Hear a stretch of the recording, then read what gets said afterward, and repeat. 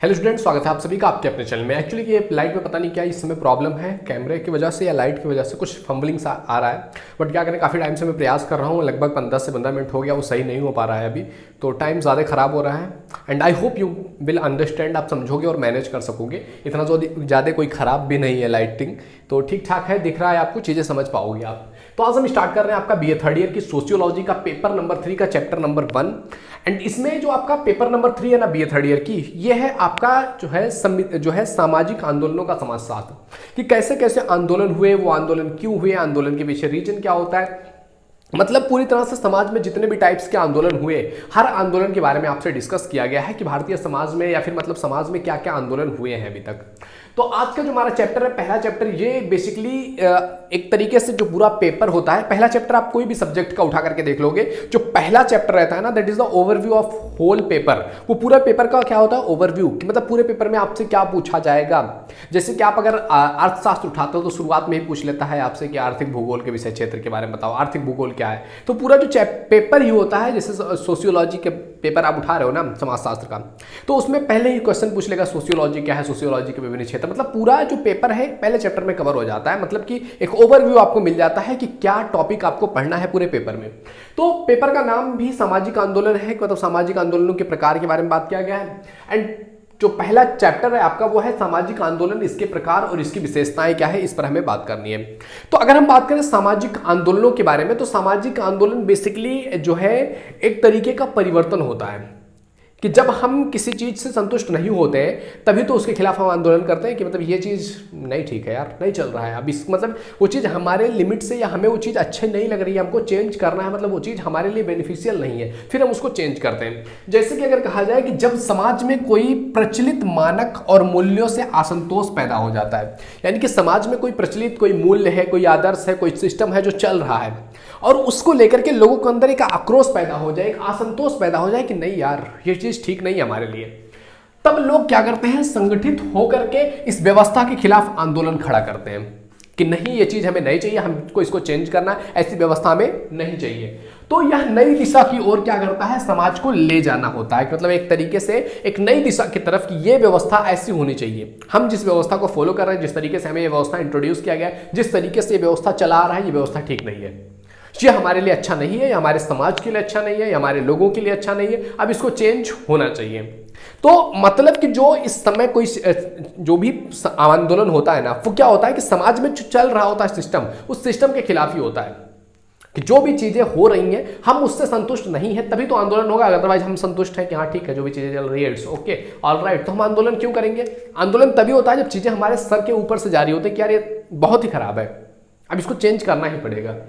इस पर अपना विचार रखते हुए कई सारे विद्वान इस पर अपना राय रखते हैं। हार्वर्ड ब्लूमर कहते हैं कि सामाजिक आंदोलन एक सामूहिक सामाजिक प्रयास है, यानी कि एक सामाजिक सामूहिक प्रयास है, जिसका उद्देश्य होता है एक नई जीवन पद्धति को स्थापित करना कि जो इस समय प्रेजेंट में जीवन पद्धति है, वो हमें बेहतर नहीं लग रही है। हमको क्या करना है? एक नई जीवन पद्धति को स्टेब्लिश करना है। दूसरा, इस पर अपना विचार रखते हुए एस जो है, एम, एस राव कहते हैं कि सामाजिक आंदोलन एक सामूहिक प्रक्रिया है। मतलब कि एक केवल एक व्यक्ति की प्रक्रिया नहीं है यह पूरे समाज की प्रक्रिया है, एक सामूहिक प्रक्रिया है।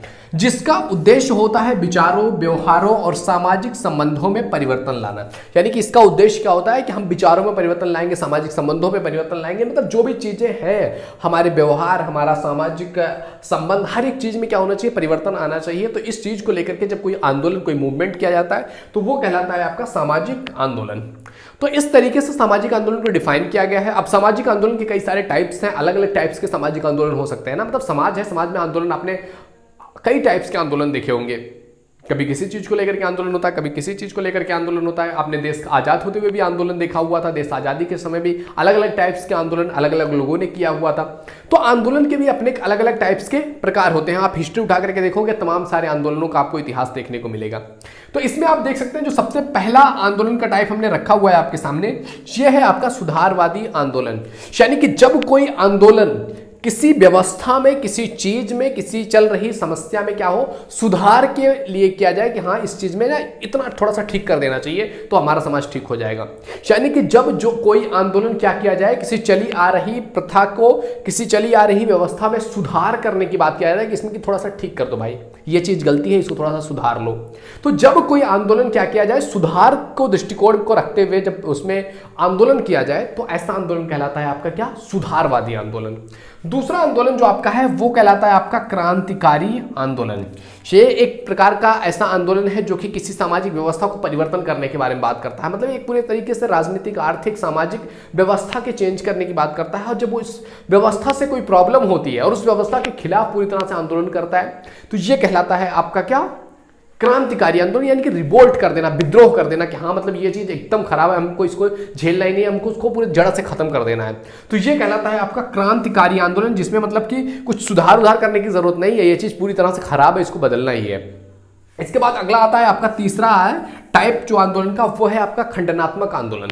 यानी कि ये एक ऐसा टाइप है आंदोलन का, जिसमें क्या होता है कि मतलब पूरी चीज़ को चेंज करने की ज़रूरत नहीं होती। इसमें कुछ खंड या कुछ पार्ट या किसी वर्ग विशेष में कुछ चेंज करने की ज़रूरत होती है। कुछ ही वर्ग विशेष का जो एक मूवमेंट होता है, वो कहलाता है आपका खंडात्मक आंदोलन। अपने आप में ही नाम से पता चल रहा है कि खंड का आंदोलन, खंड बाय खंड जो चीज़ें बटी हुई है, उन खंडों का आंदोलन क्या कहलाएगा आपका? खंडात्मक आंदोलन।